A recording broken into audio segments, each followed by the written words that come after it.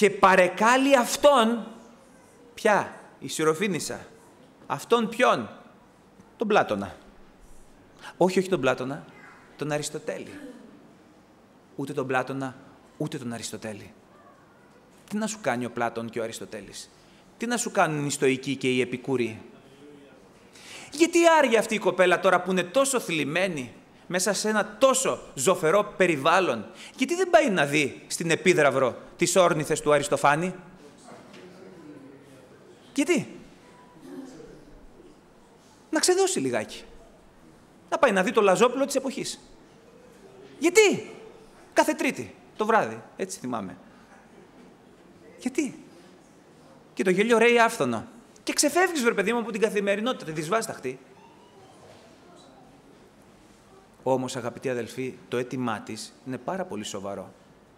Το αίτημά της είναι, που είμαστε το χασά, παρεκάλει αυτό να εκβάλει το δαιμόνιο εκ της θυγατρός αυτής. Έχει να πολεμήσει με το διάολο.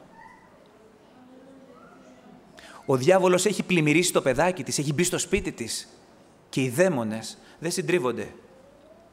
Ούτε με τον Πλάτωνα, ούτε με τον Αριστοτέλη, ούτε με γελάκια, ούτε με τραγουδάκια, ούτε με θεατράκια. Όχι έτσι. Οι δαίμονες συντρίβονται μόνον όταν έλθει ο Ιησούς. Μόνο με το λόγο του Κυρίου οι δαίμονες συντρίβονται. Με τίποτε άλλο. Με κανένα άλλο υποκατάστατο να το θυμάσαι αυτό. Μην παρασύρεσαι. Μην μπερδεύεσαι. Μην είσαι εύπεπτος σε σάλπιγγες που γαργαλίζουν την ακοή. Φυλάξου. Μόνον ο λόγος του Χριστού. Μόνον ο λόγος του Χριστού. Εν πνεύματι Αγίο.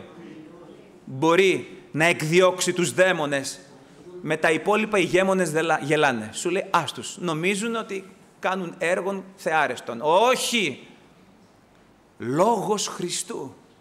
Παρεκάλει για να πει ο Κύριος λόγο. Παρεκάλει. Πού παρεκάλει; Εμείς πρέπει να παρακαλούμε στην προσευχή γιατί είναι αοράτος παρόν. Εκείνη παρεκάλει στα γόνατά του γιατί ήταν ορατός.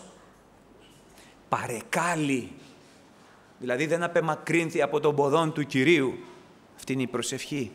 Μια προσευχή όχι με απελπισία, αλλά με επίγνωση ότι τα πάντα εξαρτώνται από τον Χριστό, από το πρόσωπο το μοναδικό.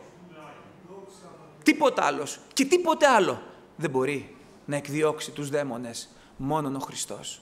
Και παρεκάλει, δεν έφευγε από τα πόδια του, μέχρι ότου ο Κύριος συγκινηθεί, μέχρι ότου ο Κύριος μας κάνει κάτι. Δεν υπάρχει λοιπόν άλλη μέθοδος, δεν υπάρχει άλλη οδός για να συντριφθεί ο δαίμον, οι δαίμονες, ο σατανάς. Δεν υπάρχει άλλος τρόπος για να ελευθερωθεί άνθρωπος ή μια ολόκληρη οικογένεια από τα δεσμά της τυραννίας του διαβόλου. Μόνον ο Χριστός μετά από παρακάλια, μετά από παραμονή στην προσευχή και έκκληση να μιλήσεις Κύριε. Αν δεν μιλήσεις εσύ, εμείς δεν μπορούμε να κάνουμε τίποτα.